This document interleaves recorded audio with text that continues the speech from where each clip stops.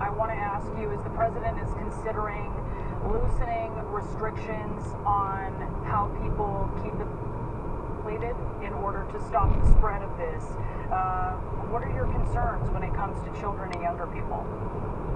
Well, the good news, if there's good news here for children, is that the severity of disease among children has been, as you've probably seen, much lower than the severity in older people and in people with what we call comorbid problems, other diseases.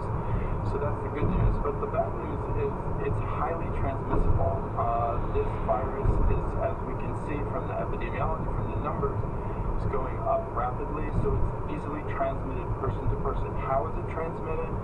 It is in your respiratory secretions, meaning it's in your nose, your throat, it's in your saliva, it's uh, and how do we pass it from there to another person? Through our hands and through the things that we touch.